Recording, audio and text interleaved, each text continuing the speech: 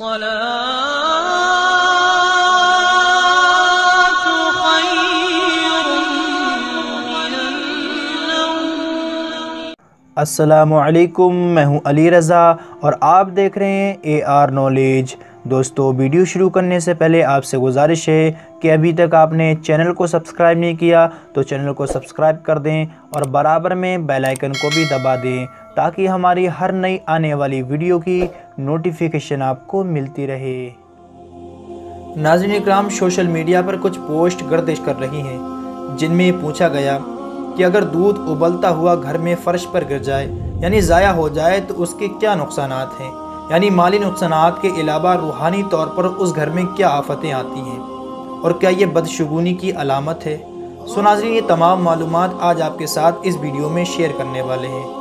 اور دودھ جسے اللہ کی نعمت کہا جاتا ہے، اس کے بارے میں چند احادیث اور دودھ کو ضائع کرنے کے بارے میں چند احکامات آپ کے ساتھ میں شیئر کریں گے۔ سو ناظرین، فوری طور پر آتے ہیں اس سوال کے جواب کے جانب، جس میں یہ پوچھا گیا کہ دودھ ابلتا ہوا اگر فرش پر گر جائے تو اس کے کیا نقصانات ہیں؟ یہاں آپ کے ساتھ ایک واقعہ شیئر کرتے ہیں، جو حضرت امام علی رضی اللہ تعالیٰ عنہ سے منسوب کیا گیا ہے۔ کہا جاتا ہے، دربار خلافت میں حضرت علی کے پاس ایک خاتون آئی اور ہاتھ جوڑ کر عرض کرنے لگی، یا علی، میرے گھر میں جھگڑے بہت ہوتے ہیں، ہر طرف تندرستی کا راج ہے، کوئی کسی سے محبت نہیں کرتا اور کوئی کسی کی خاطر اظہار نہیں کرتا، ایسا کیوں ہے؟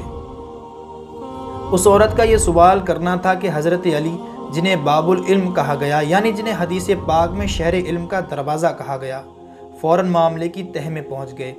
یہ حضرت علی کی شان تھی کہ چند لمحوں میں انہوں نے حقیقت عیاں کر دی۔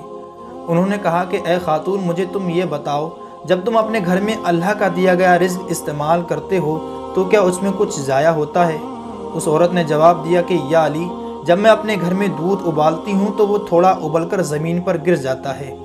حضرت علی مسکرائے اور جواب دیا کہ اے عورت، جب جب اللہ کا دیے گیا رزق پامال ہوتا ہے یعنی پیروں میں آتا ہے، اس کی توہین ہوتی ہے تو اس گھر سے رزق اٹھ جاتا ہے اور بے برکتی آتی ہے۔ چنانچہ جب تندرستی اور غربت آتی ہے تو تمہارے گھروں میں لڑائیاں اور جھگڑے ہوتے ہیں اور بے سکونی اور بے برکتی آتی ہے۔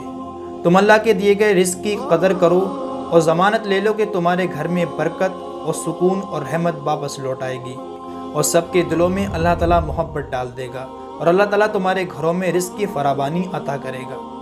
خواتین و حضرات بظاہر تو یہ بڑی معمولی سی بات لگتی ہے کہ ہم اکثر اپنے گھروں میں دیکھتے ہیں کہ مائیں اور بہنیں چولہے پر دودھ ابالنے کے لیے رکھ دیتی ہیں اور پھر وہ دودھ چولہے کی تیز آگ پر ابلتا رہتا ہے اور وہ اپنی بے خیالی میں اس کو بھول جاتی ہیں اور اللہ کا دیا گیا رزق ضائع ہوتا رہتا ہے۔ یہاں کچھ ذہنوں میں اگر سوالات ابھرتے ہیں تو ان کے لیے ہم ابن ماضہ کی ایک حدیث شیئر کرتے ہیں کہ حضرت عائشہ صدیقہ رضی اللہ تعالیٰ عنہ فرماتی ہیں کہ تاجدار رسالت حضرت محمد مصطفیٰ صلی اللہ علیہ وسلم گھر میں تشریف لائے اور ایک روٹی کا ٹکڑا زمین پر پڑا ہوا دیکھا۔ آپ صلی اللہ علیہ وسلم نے اس کو اٹھایا، صاف کیا اور کھا لیا۔ حضور اکرم صلی اللہ علیہ وسلم نے حضرت عائشہ سے فرمایا کہ اچھی چیز کا احترام کیا کرو۔ رزق جب کسی سے چلا جاتا ہے تو لوٹ کر نہیں آتا۔ بعض علماء اکرام سے نقل کیا گیا ہے کہ گیہوں اور دیگر اجناس جب پاؤں میں آتی ہیں تو وہ قحط کا سبب بنتی ہیں۔ اللہ تعالیٰ سے دعا ہے کہ ہم اس کے دیے گئے رزق کو ضائع نہ کریں، اس کے ادا کیے گئے رزق کی توہین اور بے حرمتی نہ کریں۔ اللہ تعالیٰ ہم سب کو عمل کرنے کی توفیق عطا فرمائے۔ آمین۔ سم آمین۔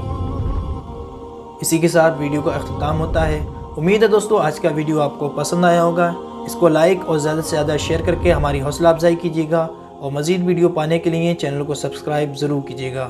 میں ملتا ہوں آپ سے اگلی ویڈیو میں اپنا رشتہ داروں اور گرد و نبا کے تمام لوگوں کا بہت خیال رکھیے گا۔ جب تک کے لیے اللہ حافظ۔